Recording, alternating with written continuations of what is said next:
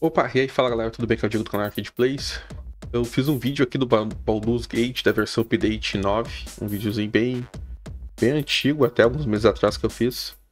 E agora com o lançamento do game ele tá bombando, vocês podem ver que ele tá com uma trajetória bem bacana. Exemplo, aqui ó, no dia 3 ele tava com 6.400, no dia 5 foi pra 10 mil, no dia 6 aqui ele tá indo pra 13 mil visualizações. Obrigado pela repercussão, ganhei muitos inscritos. Mas eu vi que tem um pessoal ainda que tá com dificuldade. Então eu deixei aqui no. Ó, bem nos comentários do vídeo aqui tem um. Um comentário meu fixado. Então tu consegue baixar um pack aqui, ó.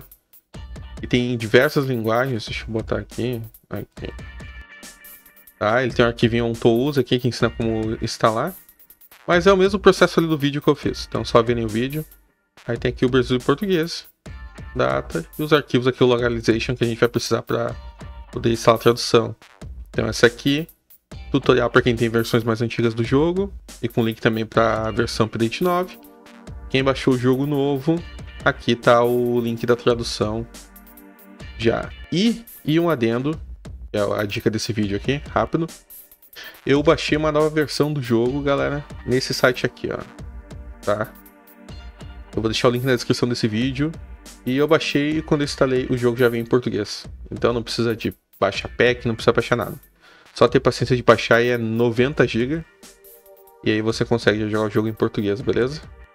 Uh, pra você ter noção, eu iniciei o jogo, nem precisei ir no launcher pra botar em português. Ele já saiu em português direto. Então, aí mais uma dica, galera, que gostou, se inscreve no canal, vai ajudar muito. Até a próxima, valeu, falou, fui.